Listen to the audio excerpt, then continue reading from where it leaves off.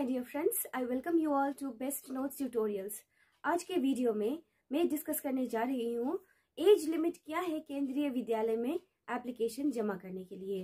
Post wise इसके लिए हम लोग डिस्कस करेंगे और किन कैटेगरीज को एज रिलैक्सेशन है ये भी हम लोग जानेंगे।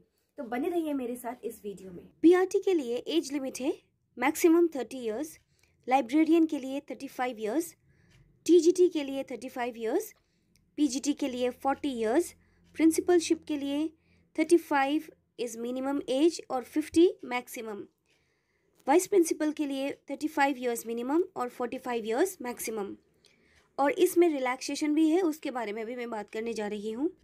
अगर आप एक सर्विसमैन हैं और आप एससी और एसटी कैटेगरी में बिलोंग करते हैं तो आपको एट ईयर्स का रिलैक्सेशन मिलेगा। Three years plus five years और ये होगा deduction of the military service. जो सर्विस आप मिलिट्री यानी कि आर्मी में कर चुके हैं, उसको डिडक्शन करके लिया जाएगा। नेक्स्ट है एक्स सर्विसमैन, ओबीसी।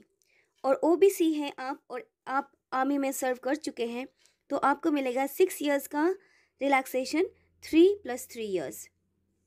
यहाँ पे भी सेम क्राइटेरिया है। नेक्स्ट, एक्स सर्विसमैन अनरिजर्व यानी कि जनरल कैटेगरी। यहाँ पे है थ्री इयर्स का रिलैक्सेशन और मिलिट्री डिडक्शन जो भी होता है, वो लागू होगा। नेक्स्ट ओबीसी ओबीसी अगर आप हैं तो आपको थ्री इयर्स का रिलैक्सेशन मिलेगा। अगर फिजिकली हैंडीकैप्ड कोई है और एस सी में फॉल करता है तो फिफ्टीन ईयर्स का रिलैक्सेशन उसको मिलेगा। अगर वो ओ बी सी है तो थर्टीन ईयर्स अगर वो जनरल है तो टेन ईयर्स और यहाँ पे वुमेन कैंडिडेट को भी टेन ईयर्स का रिलैक्सेशन मिलेगा।